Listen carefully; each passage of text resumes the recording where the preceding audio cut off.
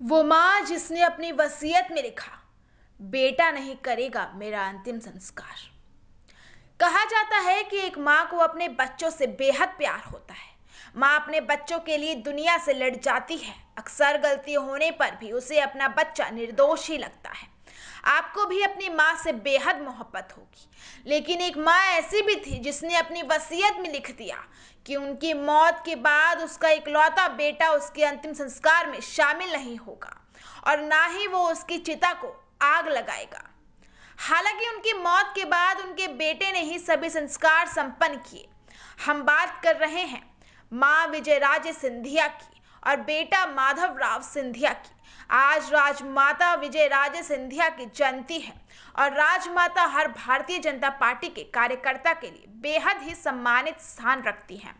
आखिर हो भी क्यों नहीं? क्योंकि उन्होंने बीजेपी की स्थापना में बेहद अहम भूमिका निभाई थी और सबसे ज़्यादा आर्थिक मदद की थी।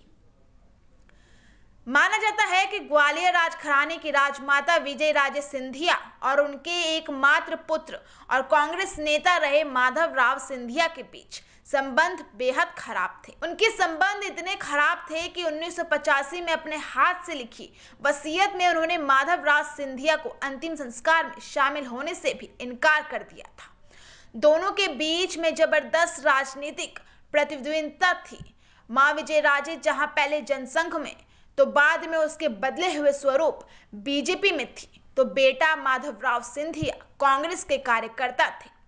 हालाँकि विजय राजे पहले खुद भी कांग्रेस में थी, लेकिन इंदिरा गांधी द्वारा राजघरानों के प्रीवी पर्स खत्म कर देने के बाद दोनों के बीच ठन गई और विजय राज जनसंघ में शामिल हो गई थी। अगर प्रीवी पर्स की बात करें तो राज भत्ता निजी कोष प्रीवी पर्स किसी संवैधानिक या लोकतांत्रिक राजतंत्र में राज्य के स्वायत्त शासक एवं राज परिवार को मिलने वाले विशेष धनराशि को कहा जाता है। विजय राज सिंधिया और माधवराव सिंधिया के बीच कैसे रिश्ते थे, इसका अंदाज़ा इसी से लगाया जा सकता है कि माँ राजमाता ने ग्वालियर के जय विलास पैलेस में रहने के लिए माधवराव सिंधिया से किराया भी मांग लिया। विजयराजे से माधव राव सिंधिया से एक रुपए साल का किराया मांगा था। इसके अलावा जब इमरजेंसी के दौरान विजयराजे को पुलिस ने गिरफ़्तार किया, तब उन्होंने आरोप लगाया था कि उनके बेटे माधव राव ने ही गिरफ़्तार करवाया है। राजमाता का साल 2001 में निधन हो गया था। 6 अप्रैल 1980 को देश की राजनीति में बड़ी हलचल थी। इसी दिन देश को एक नई पार्टी मिलने जा रही थी। ये पार्टी वही है जो मौजूदा समय में देश की सरकार चला रही है। जी हाँ ये पार्टी है भारतीय जनता पार्टी। इसकी स्थापना जनसंघ से अलग हुए कुछ लोगों ने की थी, लेकिन इनके आगे एक सबसे बड़ी आर्थिक दिक्कत थी। किसी भी राजनीतिक दल को चलाने के लिए बड़े मात्र में पैसे चाहिए होता है।